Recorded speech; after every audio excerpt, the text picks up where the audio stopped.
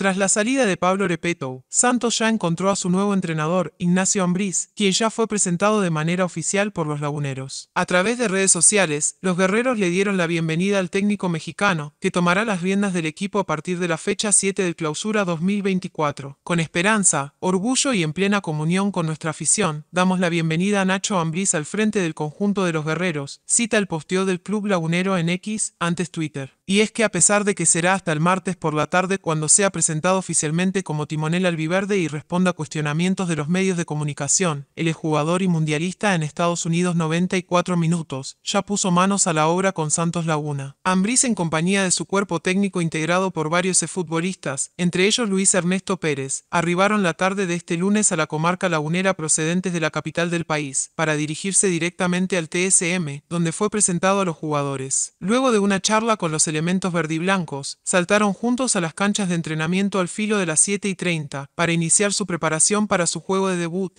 que será el próximo domingo en el Olímpico Universitario ante los Pumas de la UNAM. Su visión y profesionalismo encenderá la chispa de batalla en cada corazón. Bienvenido a casa se leyó. Ambrí llega a Torreón tras su aventura por Toluca, equipo al que dirigió por casi cuatro torneos y donde ganó 33 partidos de 77 posibles. Santos visitará este domingo a Pumas como parte de la jornada 7 de la Liga MX. Actualmente marcha en la decimoquinta posición con solo cuatro puntos. Jueza ordena a FGR que permita al Club Santos acceder a investigación contra su dueño. Ruby Celia Castellanos Barradas, jueza décimo de Distrito de Amparo en materia penal, concedió la medida cautelar y dio un plazo de 48 horas al Ministerio Público Federal para que rindan sus informes justificados. Se concede la suspensión provisional para que la autoridad responsable le permita a su defensa el acceso a la carpeta de investigación que se esté integrando en su contra, así como les permita protestar el cargo conferido en la misma, respetando su derecho de defensa, siempre cuando tenga el carácter de imputada y se actualicen los supuestos previstos en el artículo 218 del Código Nacional de Procedimientos penales, es decir, 1. Se encuentren detenidos, 2. Sean citados para comparecer como imputados o 3. Sean sujetos de un acto de molestia y 4. Se pretendan recibir sus entrevistas, esto es, por conducto de alguno de sus apoderados o representantes legales, detalla el acuerdo emitido. La investigación del Ministerio Público Federal derivó de una querella que presentó la Procuraduría Fiscal de la Federación,